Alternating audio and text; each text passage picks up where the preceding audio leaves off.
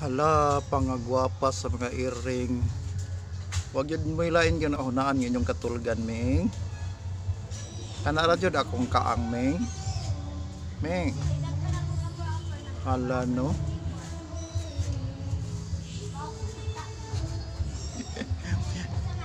Kuy pistot. Niipon unta mo sa inyong mama, Ming. Nabere, Ming, oh. Ngayon pagka-plaster inyong mama. Oh. Oo, nahubog siguro ni siya. Kay maayo man kayong pagkatog. Nagnangap o nag sa paning pormahan eh. Mani problema kay na tiling. Gya kayo ni maming. Walang ka nakatiman sa mong mga anak meng. Walang ka nakatiman sa mong mga anak meng nga naa man dire meng nang sa akong kaang nag kabuang og kuan meng. Tanawa mi, tanawa. Nay, pahilo-hilo las mata. Wala gunahon na, baya. Sige, da, nakamatmon ka lagi. Da, nauwaw nilayat. Tanis siya kay, hmm? Mayong pagplastar. Busog na mo. Kaya diha man mo nag-relax. Nagpahili sa inyong mga gikaon. Ha, man huy ab ay gutom pa di ay. Isa na uwaw ni Tago.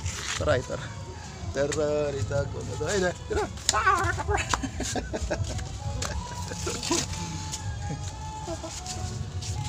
Ikaw, unsay plano ni mo, Meng? Ha? Unsay mong mga plano? Wa ka magunahuna nga maayo ba o dili nang gibuhat ni mo, Meng?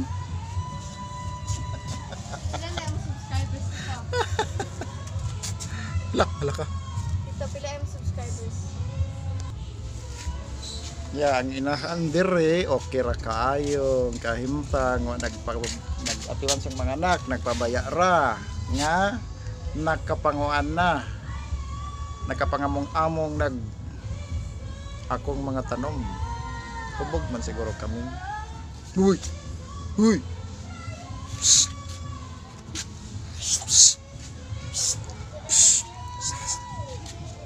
Kamat